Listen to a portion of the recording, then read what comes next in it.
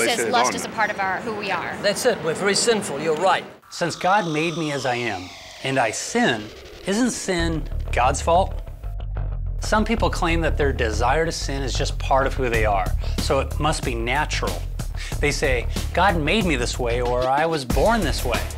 Well, that's partially correct. They weren't born that way. In the beginning, God created man with the ability to choose between right and wrong.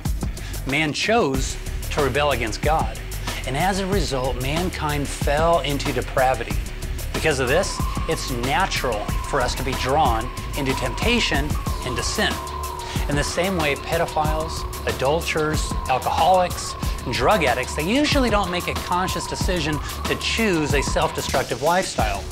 They simply give in to their sinful desires. But that doesn't make it okay. God commands all men everywhere to repent.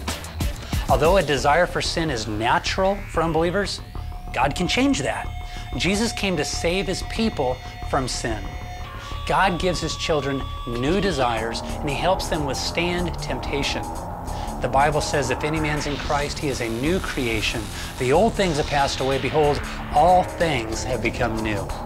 Listen, don't blame God for your sin. Repent today while you still have time.